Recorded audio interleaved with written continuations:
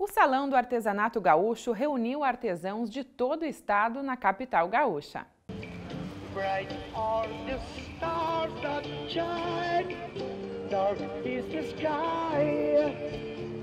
No Largo Glênio Pérez, centro histórico de Porto Alegre, uma grande estrutura foi montada para a realização do Salão do Artesanato Gaúcho. A organização da feira ela partiu também da idealização né, de um projeto cuja ela está sendo a segunda edição. O primeiro a gente realizou em 2017.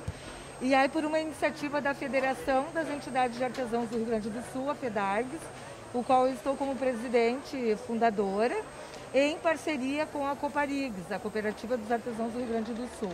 Do tradicional ao contemporâneo, artesanatos em lã, porongo, madeira, couro, macramê, cerâmicas, bordados, palha de trigo, milho, artesanato indígena e cultura negra estiveram expostos na feira, que contou com 141 expositores individuais e 18 associações e cooperativas de 38 municípios do estado. A gente tem toda a diversidade étnica representativa aqui dos indígenas quilombola, de matriz africana, as mulheres, né, que nós temos ao todo 80% mulheres artesãs hoje cadastradas no programa. Isso a gente está buscando a valorização e reconhecimento do que a gente tem uh, de bom e de melhor do trabalho da atividade artesanal no Rio Grande do Sul. Nós contamos também com a presença e representação de 38 municípios do estado. O nosso objetivo já foi alcançado. É, estão todos vendendo, uns mais, outros menos, mas a gente está com público circulante aí nessa média de 2.000 a 2.500 dias. E as nossas expectativas, então, era de chegar em média em uns, em torno de 40 mil a 50 mil diário. Nós estamos fazendo a retomada das atividades presenciais, que é importantíssimo e fundamental. O nosso evento, ele praticamente está fazendo um marco nessa retomada. Então a gente está muito orgulhoso, as per perspectivas de que nós tínhamos foram muito positivas. E está sendo muito bacana. A gente está atendendo aqui todos os protocolos né, do, decreto, do último decreto lançado pelo governo do estado e municipal. Então nós temos todo o cuidado com o público, visitante também, com os expositores. E está extrapolando, extrapolou as expectativas. A importância disso também, ela envolve o seguinte, a questão da geração de renda que é importantíssimo nessa retomada da nossa atividade, né? O artesão está aqui, ele próprio está vendendo o seu produto, isso faz uma diferença enorme. Além da, da, da busca da valorização e o reconhecimento do artesanato, enquanto também representação e produto cultural do nosso estado.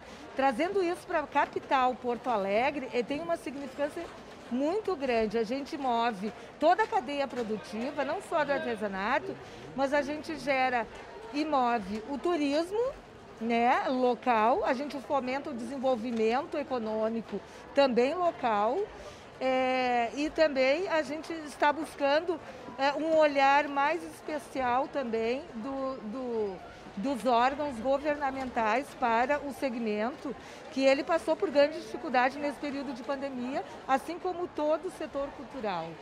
Ivone veio representando um grupo de quatro artesãs de São Francisco de Paula.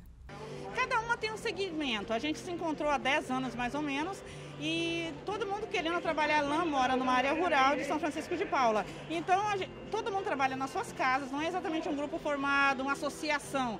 É um grupo, a gente formalizou nossa documentação, mas cada uma trabalha para uma linhagem. Uma faz tricô, tricô tradicional, tricô, outra faz o tricô de braço gigante e tal, outra trabalha com feltragem. Todas fazem um pouquinho de cada um mas cada um segue um segmento. Eu segui dos bacheiros, por exemplo, que faço rédea, a parte mais rústica, e cada uma faz uma, uma linha. Mas quando é eventos assim, ou pela Imater, que dá assistência para a gente lá na região também, a gente se junta e vem. A gente trabalha com a lã 100% natural e que a gente preza é o resgate do feito à mão. Então a gente veio aqui trazer na feira um pouquinho do que é a lã, a textura de uma lã de verdade, lã 100% natural e o resgate disso, de trabalhar o natural, o feito à mão E a gente trabalha a nossa lã, nossa própria lã da criação, desde os da confecção do artesanato mais rústico, que é os bacheiros, que para cavalo, para lã mais rústica que tem, desde uma lã de qualidade para confecção maravilhosa, com a filtragem com seda, com algodão. Então a gente trabalha todo o processo, desde a ovelha até a peça final.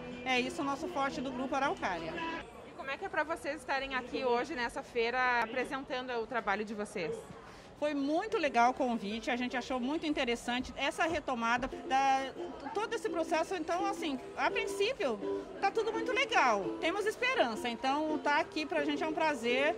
Ivanir Emater, uma das apoiadoras do Salão do Artesanato Gaúcho, como é que foi esse trabalho de apoio da Emater aqui na feira?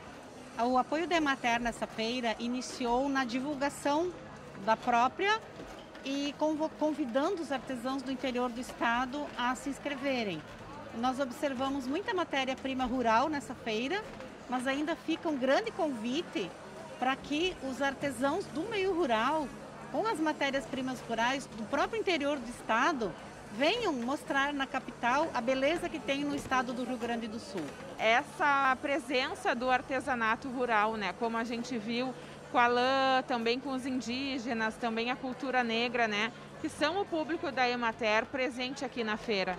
E a alegria de conversar com essas pessoas do meio do rural, de estarem aqui mostrando esse artesanato que tem a característica do nosso estado. Vamos falar do artesanato em lã. Ele é muito característico, típico do nosso estado do Rio Grande do Sul, considerando também os públicos que a gente assessora, indígenas, quilombolas, que estão presentes também nessa feira. A coordenação do evento já tem perspectivas para as próximas edições. Nós estamos com grandes perspectivas, a gente já formalizou um pedido né, a público na nossa inauguração oficial aqui com as autoridades presentes de colocar no calendário de Porto Alegre esse evento. Todos os artesãos do estado do Rio Grande do Sul estão convidados para, próximo, para as próximas edições desta feira a virem na capital do estado mostrar a beleza que tem o artesanato do interior, do rural do estado.